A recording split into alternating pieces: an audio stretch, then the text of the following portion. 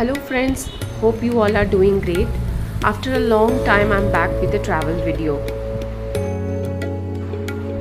Recently मैं अपने native गई थी कोलकाता। वहीं से मैं तारापीठ दर्शन के लिए गई थी। ये दो दिन का ही ट्रिप था। हम लोग सेवेंथ अप्रैल संडे को स्टार्ट किया था around ten thirty in the morning Kolkata से तारापीठ।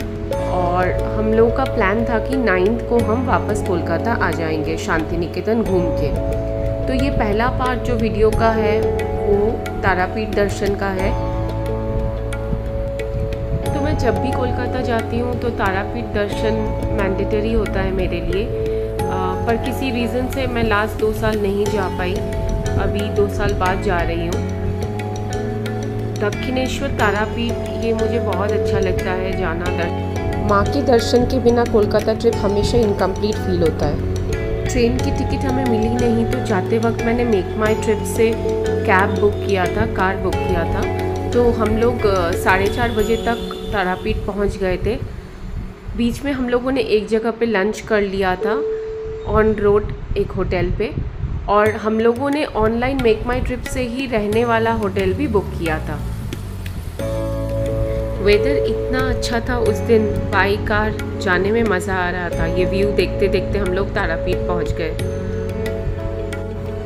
थैंक गॉड हमने car booking Make My Trip से किया था। It was a hassle free experience and the journey was really comfortable नहीं तो शायद हम कैसे जा पाते पता नहीं, क्योंकि ट्रेन का टिकट तो मिल नहीं रहा था और बसेस ऑप्शंस उतने हैं नहीं तारापीठ के लिए।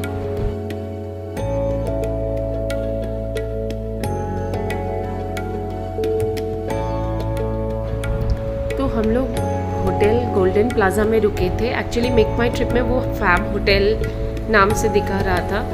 मेन रीज़न था ये चीज़ सिलेक्ट करने का क्योंकि रूम्स क्लीन दिख रहे थे रिव्यूज़ अच्छे थे। तो हाँ सच में ये एकदम नया कंस्ट्रक्टेड एक प्रॉपर्टी था। सब कुछ नया था, सब फिटिंग्स वगैरह सब कुछ नया था। आइए मैं आपको एक रूम टूर दे देती हूँ। जैसा कि आप देख सकते हो, क्योंकि ये एक नया होटल है। सब कुछ साफ़ सुथरा नीट एंड टाइडी है, जो हमारा मेन क्राइटेरिया था।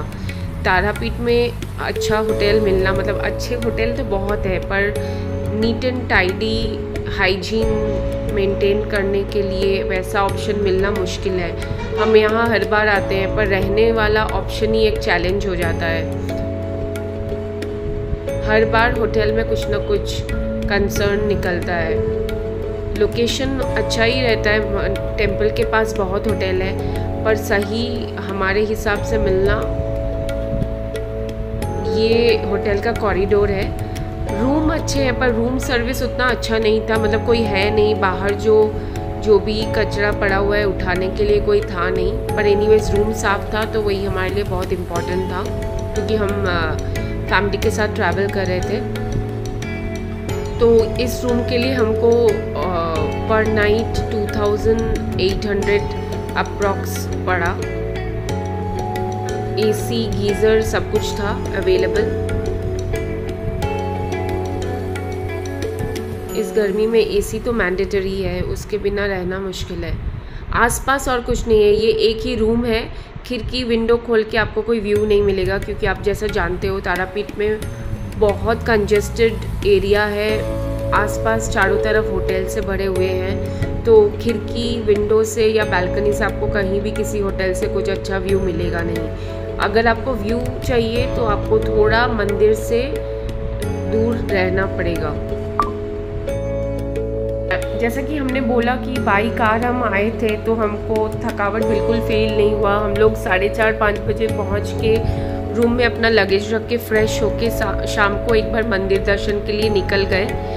क्योंकि हमको, हमारा प्लान था Monday morning that is on eighth of April morning हम लोग पूजा देंगे मंदिर में। तो हम लोग जाके जिन पंडित से हम पूजा करवाते हैं, उनसे मिलने के लिए चले गए।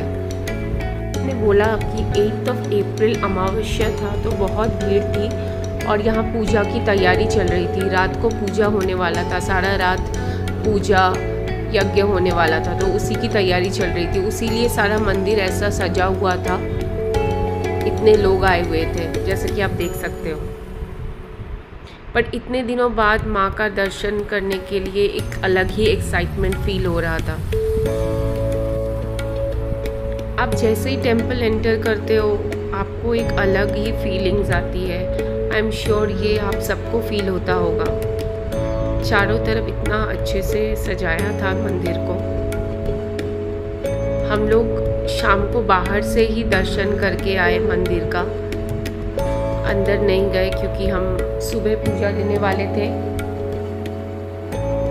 और हम लोग पूजा देने के पहले फास्टिंग करते हैं। पर संडे क्योंकि हम लोग जब जा रहे थे तो हम लोगों ने रास्ते में कुछ खा लिया था तो हम लोग उस तरह से पूजा नहीं देते। तो मंदिर से निकल के हम थोड़ा मार्केट एक्सप्लोर कर रहे थे।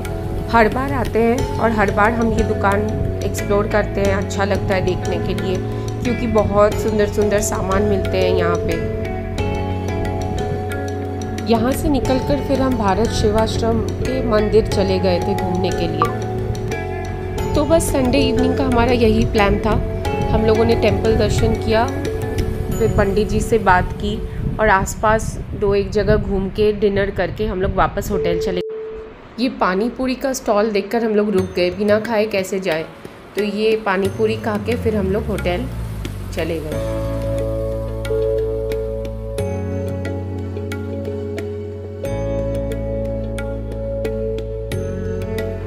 नेक्स्ट डे सुबह पाँच बजे हम लोग रेडी होके मंदिर आ गए थे। पंडित जी ने सब रेडी करके रखा था। तो इतना भीड़ था, हम लोगों ने वीडियो नहीं लिया था। पूजा देने में हम लोग ध्यान दे रहे थे। और बहुत अच्छे से दर्शन किया, पूजा दिया और अगली बार फिर आएँगे माँ के दर्शन करने।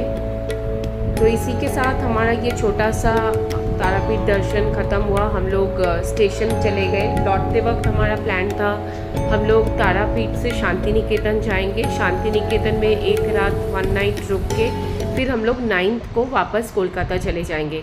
तो हम लोग बारह, साढ़े बारह बजे ट्रेन पकड़ के तारापीठ से हम लोग शांति निकेतन के लिए निकल गए।